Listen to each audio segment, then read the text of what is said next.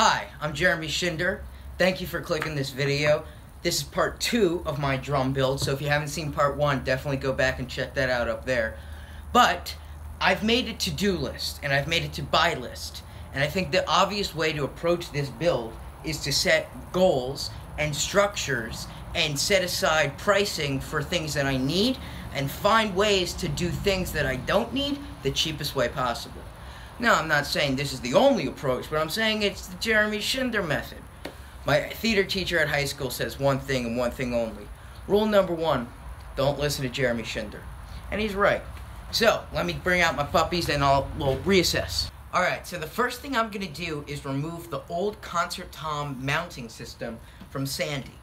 The reason why is because even if I decide to ultimately keep her as a second floor Tom, which I won't, I don't like this old mounting approach. However, I will keep it and I will tighten it up and make it look better for Fred because it's a cost effective way of mounting this as the OG mounting ones. So since these Ludwig drums are gorgeous, however they're old, I need to use a different type of approach to remove these old mounting systems from my 16 inch. Let's go into it. As you can see, this original mounting system is a little bit rusty and very, very dangerously loose. And I don't really like it. So the first thing I'm going to do with this drum is remove it. Let's get into it.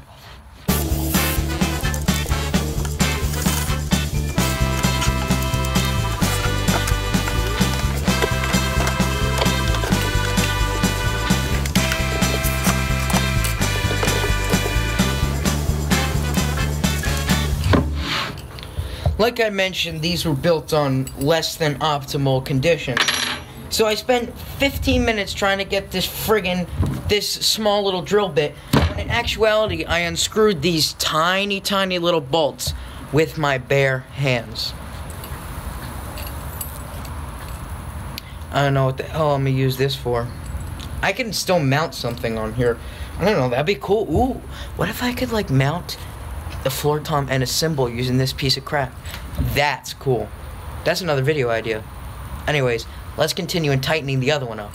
But before I do that, this gorgeous wrap is, like I mentioned, a little old, and the way it's holding on is a little faulty by pins hammered in. So I'm gonna just slightly hammer in the already existing pins, and then I might put a few more in.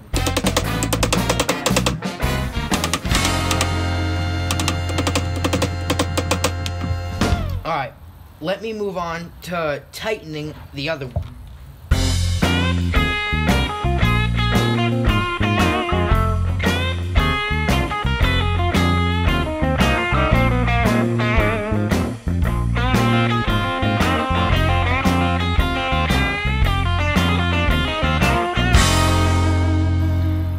Alright, there we go.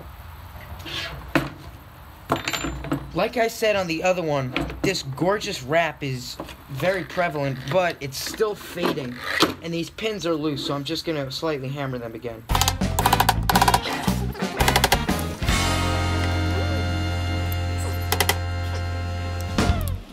Well, after this popped off, I decided that I think I'm going to drill these back in here and keep them there as, I guess you could say, a protective adhesive to make sure the wrap stays on in the exact positions that I want it and it doesn't move around and screws me over. Remember, you gotta be very, very safe and careful when it comes to these. So don't do what I do, like ever.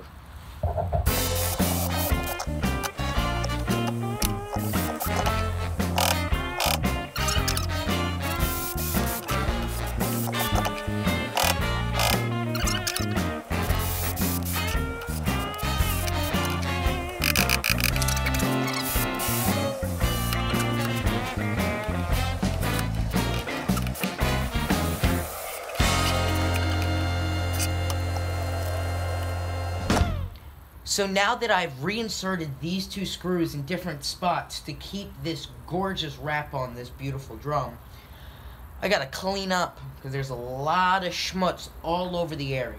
I want this place to look brand spanking new.